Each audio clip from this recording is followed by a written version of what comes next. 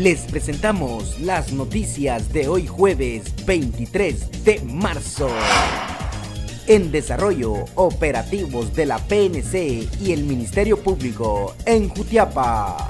Varias diligencias de allanamiento se llevan a cabo en Jutiapa por parte de la Policía Nacional Civil y el Ministerio Público en busca de armas de fuego e indicios para fortalecer investigaciones también se busca a personas que podrían estar involucradas en actividades ilícitas. Preparan simulacro de erupción de volcán Santiaguito. La Coordinadora Nacional para la Reducción de Desastres informa que este jueves 23 de marzo se efectuará el simulacro de erupción del volcán Santiaguito por lo que pide atención a los pobladores de comunidades cercanas para atender las instrucciones de autoridades. Capturan en Colombia a miembros del cartel de Sinaloa, exportadores de fentanilo.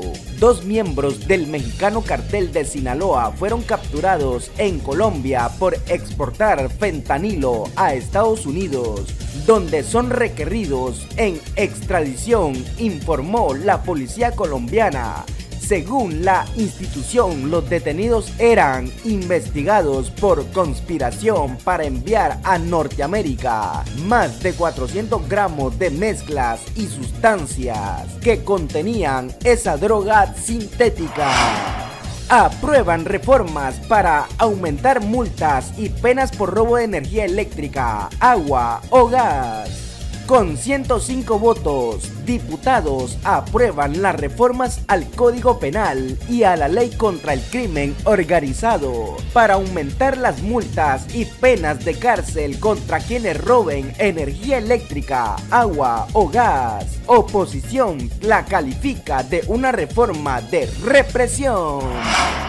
La Corte de Constitucionalidad emite fallo a favor de Casa de Dios y frena investigación de la Fiscalía contra lavado de dinero. La Corte de Constitucionalidad emitió una resolución a favor de la Iglesia Casa de Dios relacionada con una investigación que efectuaba la Fiscalía contra el lavado de dinero del Ministerio Público. La Intendencia de Verificación Especial interpuso una denuncia por transacciones sospechosas en cuenta de la referida iglesia, por lo que la Fiscalía contra el lavado de dinero había emprendido la investigación. Para más información visita nuestra página isabalencetv.com. Informó Tali Cruz para Isabalense TV y Radio Fe Love